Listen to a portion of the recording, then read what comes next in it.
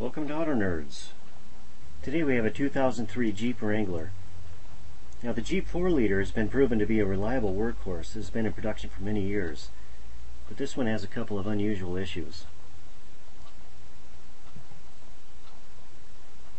This thing has been from shop to shop. And as you can see, all of the conduit has been stripped from the harness under the hood. And they have placed the coil pack here off to the side with spark plug wires leading to the plugs. This vehicle will start in idle, but if you touch the throttle, it'll just stumble and stall.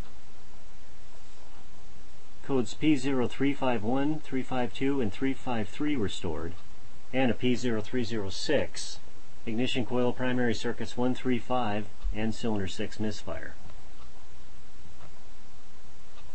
Possible causes for the ignition coil primary circuit codes, according to the service information, a good trip equal to zero, ASD relay, ignition coil resistance, coil control circuit open, or ignition control circuit shorted to ground, or PCM.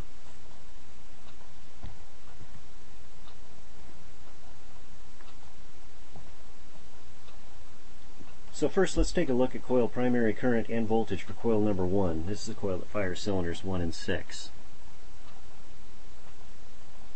At first glance this almost looks like some type of multi-strike system. However, according to the service information, this is a standard waste spark system. So this might be a good time to take a look at the triggering system. We'll take a capture of cam and crank sensors. And something looks very wrong here. But I'm going to bring in some reference waveforms to help with our analysis. Now there are two problems here. First, the cam signal's falling apart. And second, the cam-crank relationship is off. You notice in our reference waveform, we have three sets of four pulses within each cam pulse. Now in the waveform we're testing, they appear to be out of sync.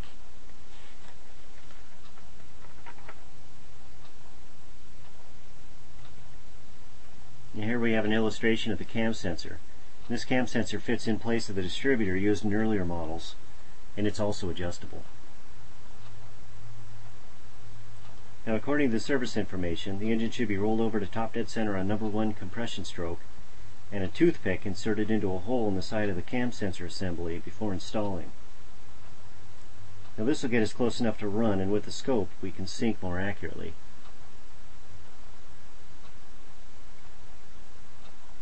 And here's another capture of the cam crank signals after the cam sensor was replaced. And you can see we now have a nice clean square wave out of the cam sensor and is now synchronized with the crank sensor.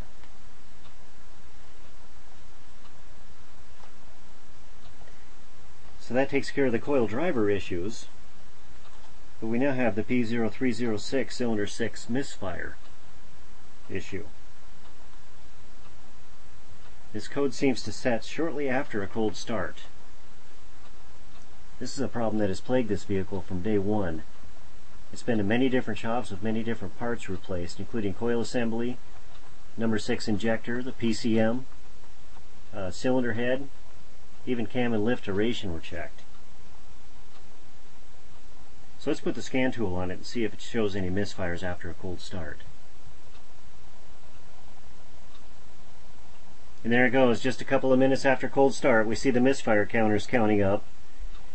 And then a couple of minutes later, the misfires stop.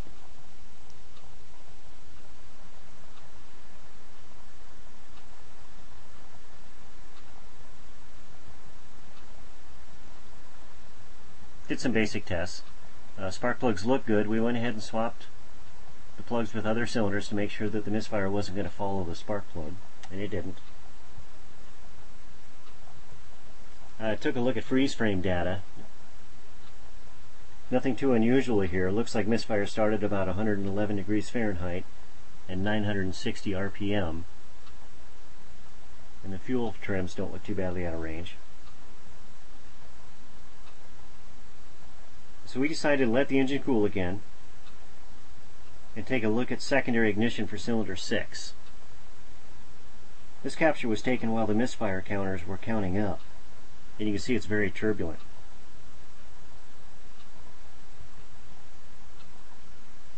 This is the same cylinder after the misfire stopped. All the turbulence went away and it looks good. So what could be causing such a disruption in the spark line for just a couple of minutes during warm-up? Let's take a look at the injector circuit just in case. So I took about a six minute capture here.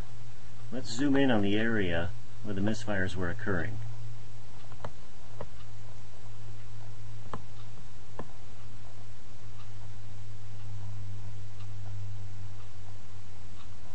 So it looks like our injector voltage supply and driver are working properly.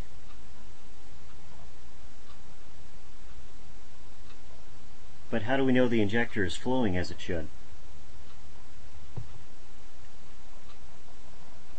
Now this is a returnless fuel system. the fuel inlet's at the front of the rail and the number 6 injector is at the rear. If there was any debris in the fuel system, it's likely to find its way to that number 6 injector.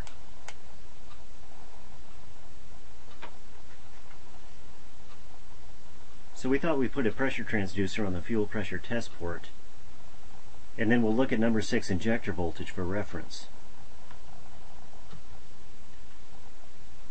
Now here we have a little more than one full cycle, and we can see the pressure drop for each injector. They seem to be consistent.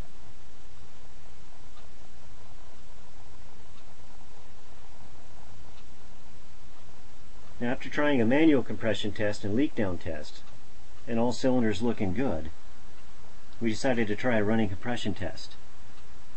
Now running compression tests with a gauge have been tried before, so we're going to try a different approach by screwing a pressure transducer hose in place of the number 6 spark plug.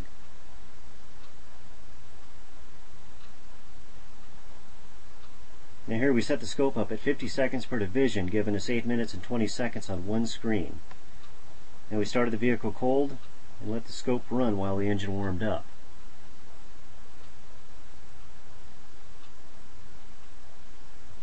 You can see how compression started dropping at about 1 minute and 40 seconds.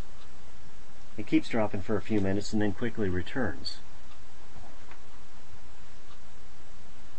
Let's zoom in on the low compression area. Now, I placed a cursor on top of the compression peaks and we can see up here it drops to about 45 psi. Now if we zoom in on the higher compression area, compression increases to about 70 psi, so about a 25 psi difference.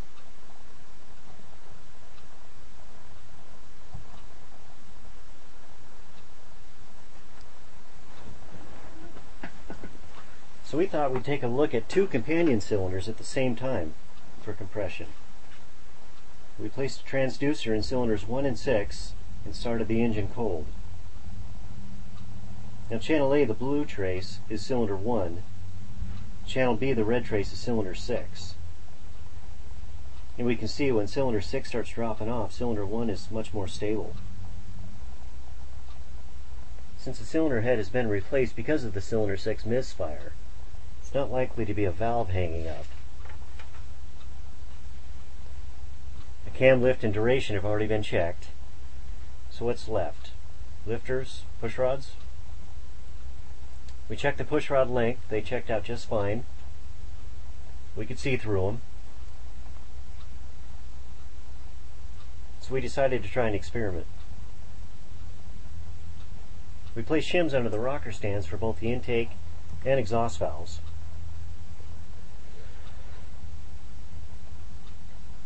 Just enough to give each valve a little lash. We tried another cold start with the scan tool attached watching the misfire counters and, and found no misfires.